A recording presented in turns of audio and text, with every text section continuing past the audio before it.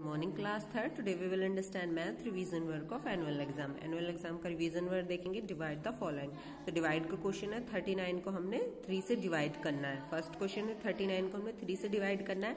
तो देखेंगे यहाँ पे थ्री से जब हमने थर्टी नाइन को डिवाइड किया तो थर्टी नाइन में सबसे पहले फ़र्स्ट नंबर को डिवाइड करते ना थ्री वन जा थ्री ठीक है? डिवाइड हो रहा है वो. फिर नाइन यहाँ पे लिख लेंगे और थ्री थ्री जा नाइन। हो जाएगा? पूरी तरह से कट जाता है ना? इसी तरह हमारे ये जो डिवाइड है कंप्लीट हो गया है, ठीक है? इसी तरह हमें ये सारे डिवाइड के क्वेश्चंस को करना है। ओके स्टूडेंट्स नेक्स्ट क्वेश्चन है आपका ये match the following match the following question देखेंगे।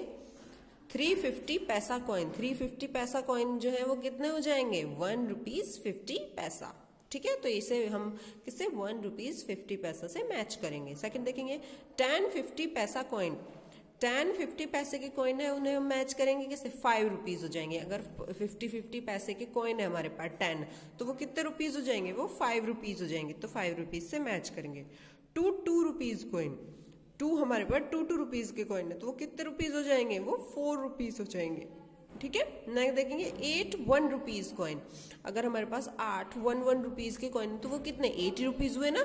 तो उसे हमें एट रुपीज़ से मैच करना है। फिर एट टू रुपीज़ कॉइन अगर हमारे पास एट टू टू रुपीज़ के कॉइन है तो कितना हो जाएगा? टू टू रुपीज़ के हैं, यानी कि डबल हो जाएँगे। एट के डबल हो जाएँगे वो। कितना हो जाएँगे वो? सिक्सटीन रुपीज़ हो जाएँगे। ठीक है? इसी तरह आपको ये रिविजन वर्क अपनी नोटबुक में करना है।